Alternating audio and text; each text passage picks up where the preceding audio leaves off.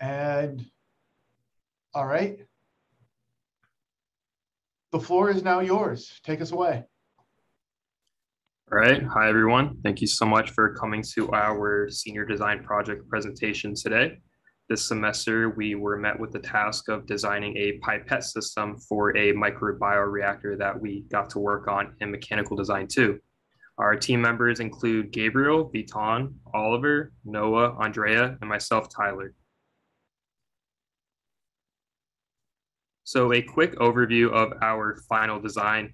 We featured a stepper motor driving a plunger within a pipette sleeve. Our pipette sleeve is actually consisting of two separate parts attached via threads. And I'll get into that a little bit more on the next slide.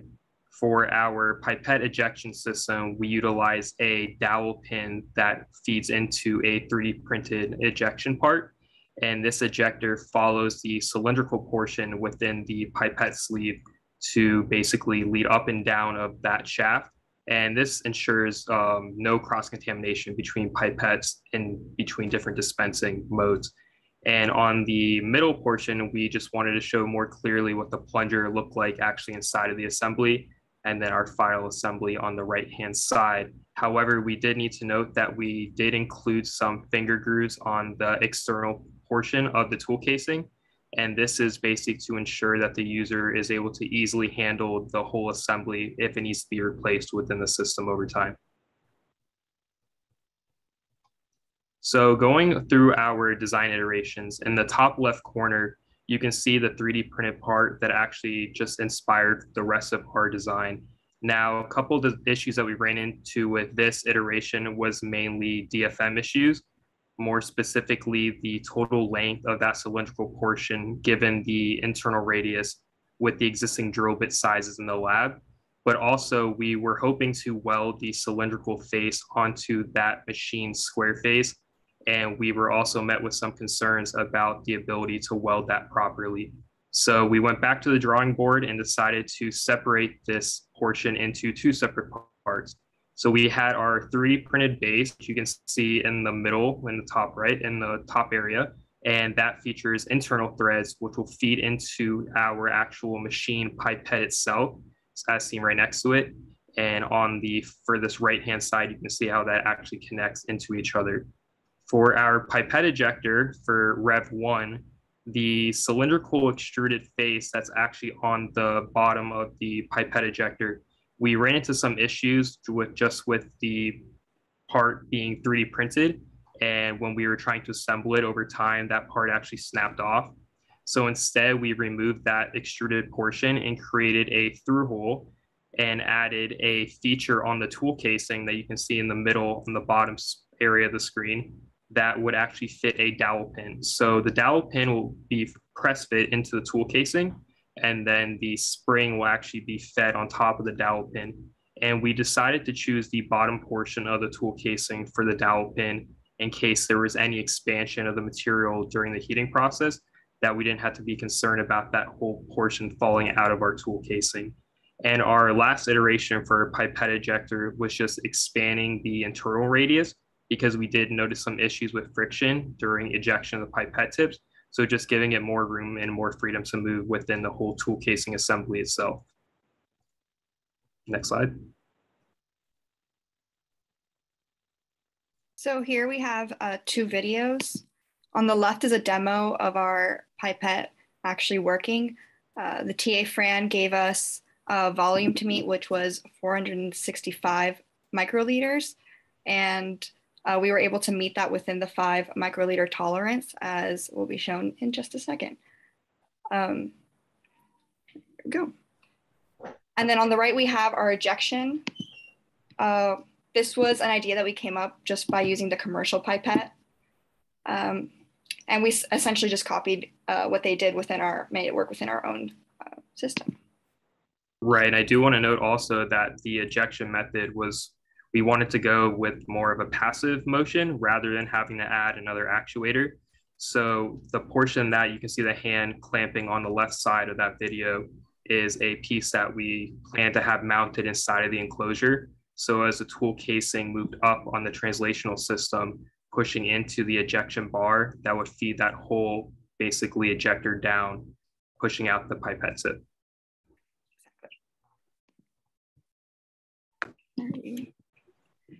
And so one of the most important design aspects of this pipette is the O-ring. Um, so the way we ended up designing our O-ring was using the Parker O-ring handbook, very useful. We had our design for our um, plunger and we started with that as a base. We went and we looked at the industrial reciprocating O-ring seals, which is um, the best table for our design application. Uh, we went to the table and we found a cylindrical dimension that was already close to what we had designed.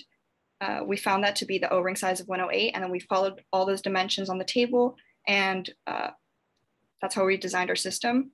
It, it worked well, and we actually had no issues with our O-ring le leaking at all.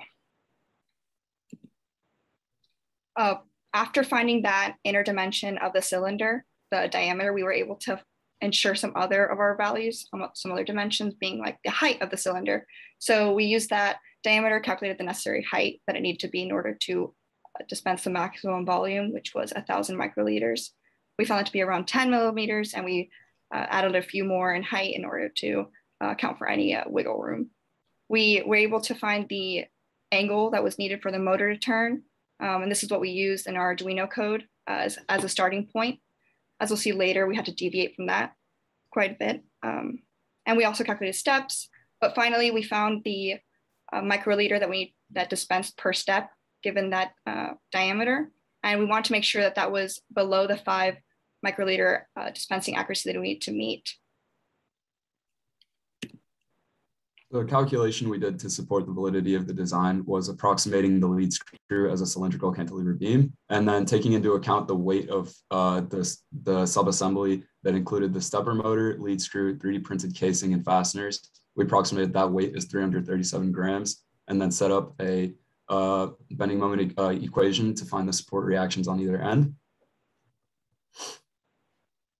And then further, we were able to create shear and bending moment diagrams in order to calculate the maximum bending stress that would be uh, exhibited onto the lead screw, uh, even at uh, when passive and not operating. And we found that that would be well under the yielding stress for the material of the lead screw that was constituted as an alloy of stainless steel and brass.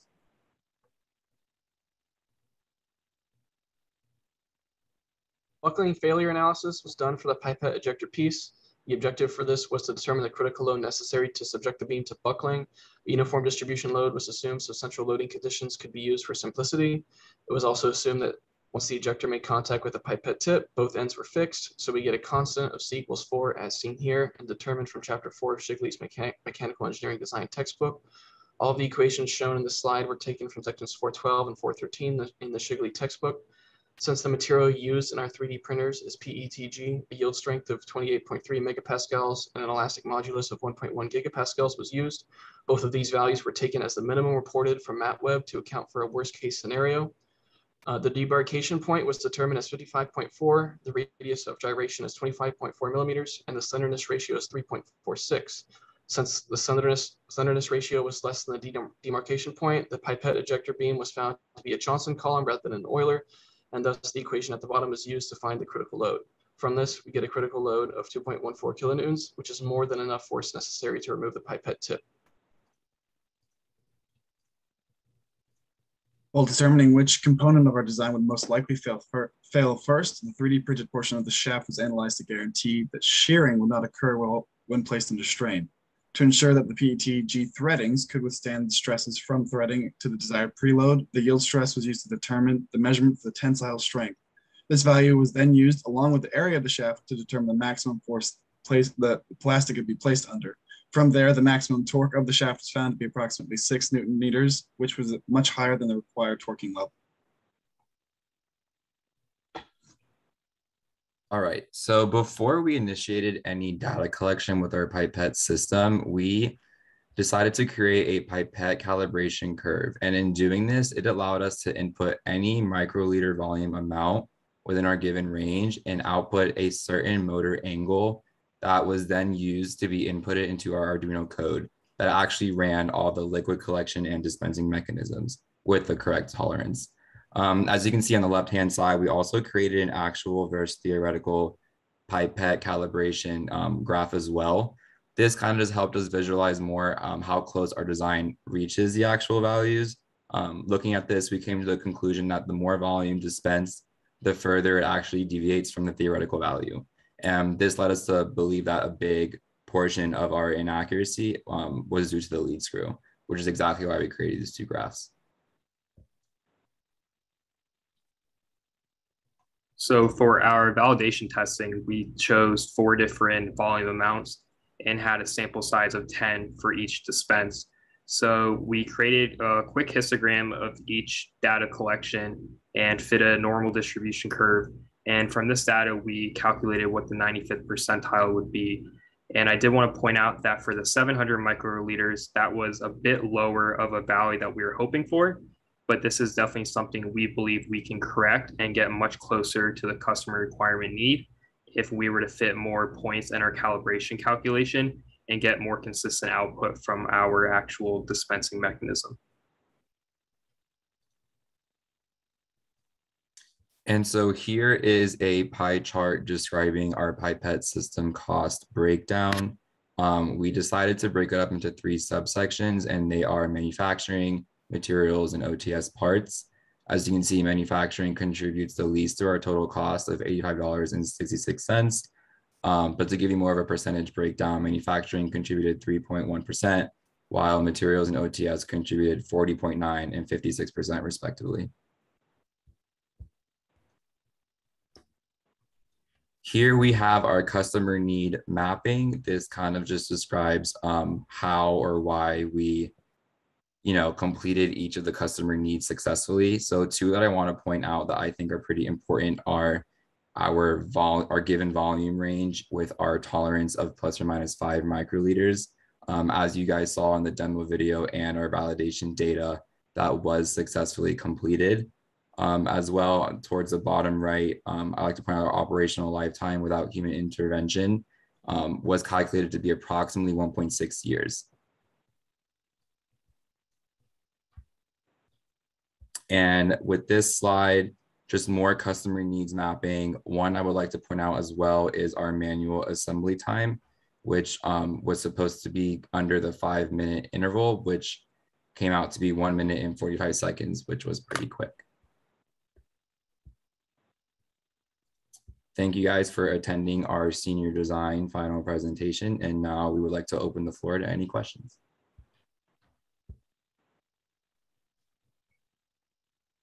Ready. Great job, guys. Thank you for uh, thank you for the presentation, going through everything with us. We'll go ahead and let our uh, let our panel here go and weigh in and ask any questions they might that they might have.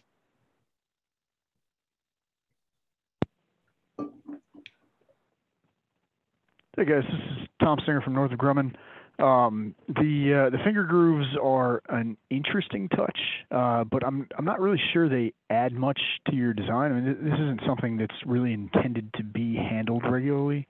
It, it's more of an ergonomic feature than a uh, you know uh, we're not holding on to something that's going to be particularly slippery, slippery or, or anything I wouldn't expect. So um, I, I think you cut those and and simplify your design a little bit and and maybe cut the cost a little bit as well.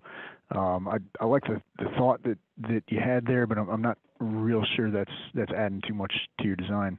Um, the uh, the ejector concerns me, right? I mean, so, so you've got something that's that's way way off axis, um, and I, I appreciate you did a, a buckling analysis of that.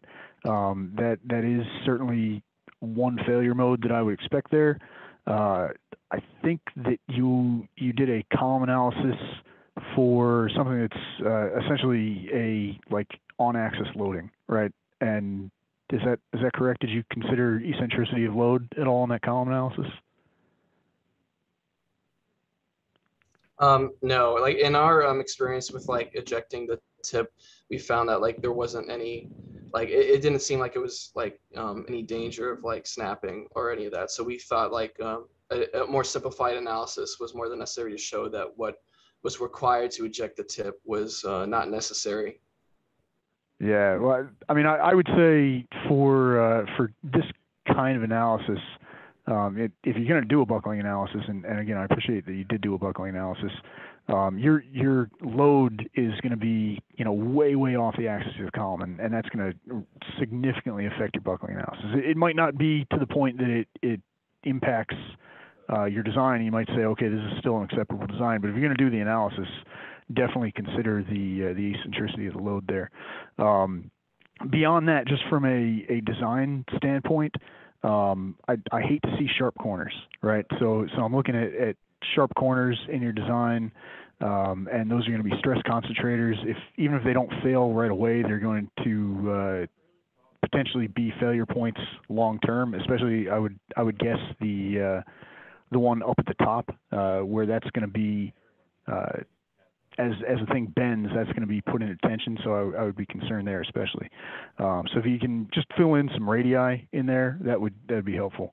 Um, let's see. Uh, I I do like, by the way, about the design that this is not you don't have any sort of separate actuator on here, right? You're you're taking advantage of capabilities that are already existing within the system uh, and and using those as an ejection mechanism rather than you know designing a you know little solenoid to pop this thing off or, or something. So I, I appreciate the uh, the synergy you're taking advantage of there. Um, and I, I, I did like the uh, the, the statistical treatment of your dispensing accuracy. I don't think anybody else really did that. They just showed plots and they said, hey, all these points they they basically overlay each other and and you can't see the difference between them, so it's good. Um, I I appreciate that that you guys have uh, a little more rigor to the uh, uh, to the analysis of, of how you're meeting that customer need there. Um, and I, I, also appreciate that you know you've got the cloud of, of customer needs and how you're meeting them. Uh, but in that cloud, I did see a couple of, of no's, and and that was maybe surprising to me. Um, let's see, one is one on this slide, right? So you've got the uh, the dimensions. Are you, are you not within the envelope? Or, what? Man, what is that? Three.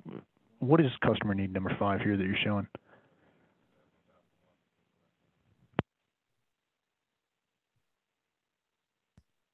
Those are just the dimensions of what um, the length, width, and height of our entire pipette system um, due to our design. It's going to be 3.63 millimeters. So we were also a little bit thrown off by those measurements as well, which is why we didn't meet that. Um, did you did you ask? Like, did you ask if that's a real requirement? We did not clarify. That's you should definitely clarify that. Yeah, 3.63 millimeter. I would I would never tell somebody something has to be an eighth of an inch. That's yeah. what. That's exactly. Yeah, what I, I, think that I think that's either a, a typo yeah. 363 is a, because that's a little bit over a foot. Right. Yeah, I, I would much rather go to the customer and say, hey, is, is there a, a typo here than go to the customer and say, hey, we didn't meet your requirement. I, I think that would be greatly preferable. Um, let's see, and then I think on the on the next slide there was another no as well. Or was I saying? Oh, the uh, XYZ location of pipette tip to tool holder is within half a meter. And again, I mean, th- this is a situation where it, it looks like you're blowing way, way past that. Uh, so maybe that is a situation of a misunderstood requirement.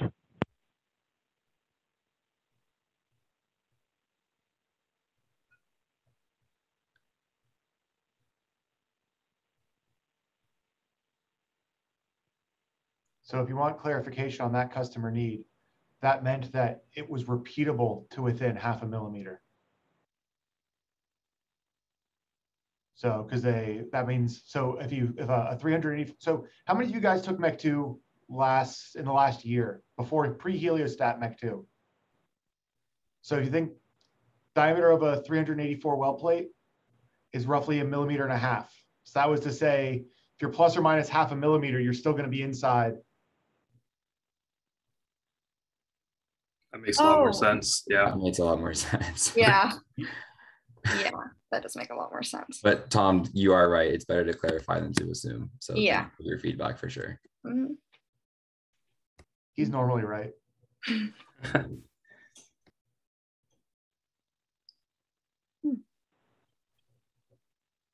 uh. So, do you have any other questions? I'll, I'll step back. I'll see if anybody else has Step any. back. Rick, do you have any, anything you'd like to chime in on here?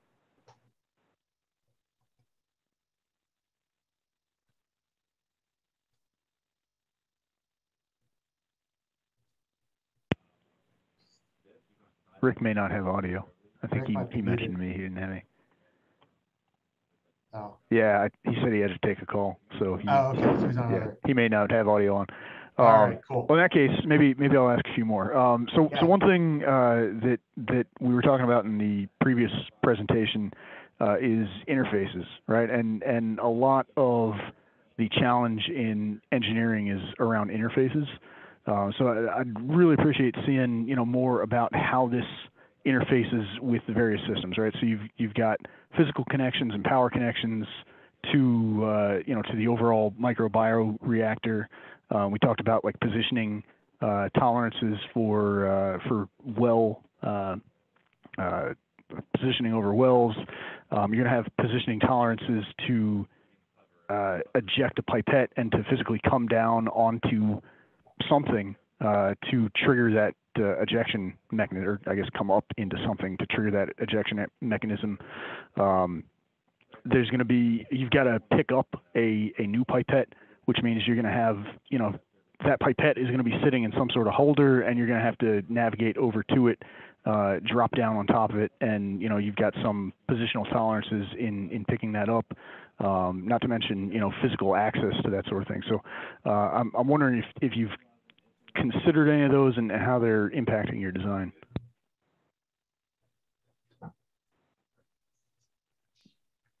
Yeah, so talking about interfacing um, our pipette with like the XYZ motion, one thing we thought about doing at towards the beginning of semester is shortening our lead screw because that kind of um, elongates our whole design by an unnecessary amount. Um, and so if we were to shorten that, that would give us more, mo you know, more area that we could move around um, without like it running into things or, um, you know, just like more space essentially to work with.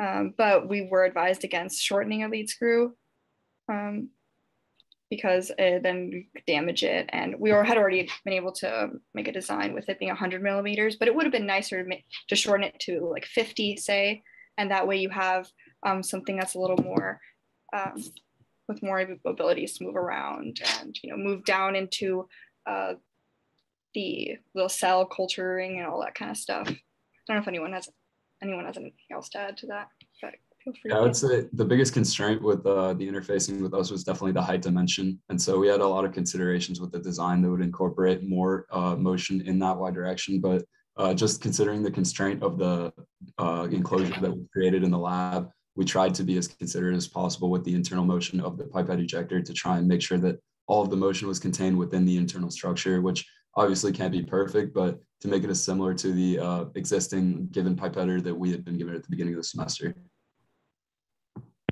Yeah. Does, does some does something already exist for your uh, your ejection mechanism trigger? Do, do you have something in the system that you're you're planning on pressing on to actuate that, or is that another piece of the design that's going to have to be fit in there? What's what's the status on that? So we did notice some existing hole patterns on the inside of the enclosure.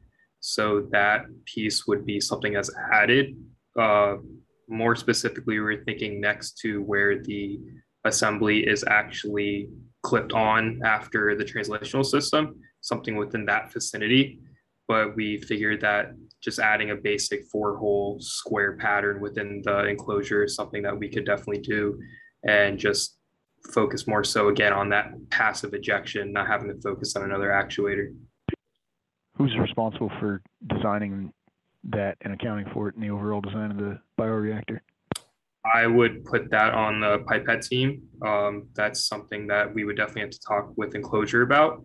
But again, that's interfacing with our actual ejection bar. So that's something that we would have to definitely design. But I mean, we have something to show for this moment in that uh, short video clip, but to actually ensure that that does interface well and not affect anything with the enclosure team is definitely something we would have to meet about. There you go. Yeah. I will say that it's a uh, it's a pretty cool idea to have it be external and use like XYZ motion and something fixed above, say, a biohazard trash container inside of the enclosure to be what ejects it. So it is a nice, I think you guys are the only group group that I saw at least. We've only got one or two pipettes left. You're the only ones to have some externally actuated ejecting mechanism. So There was one that had that little like seesaw mechanism underneath, which was a similar idea. Oh, well, yeah. That it- it right, would, like- right. Yep. Yeah. Yeah. All right. So you're the second group to do it. Two out of 18 ain't bad. Awesome. Like to hear it.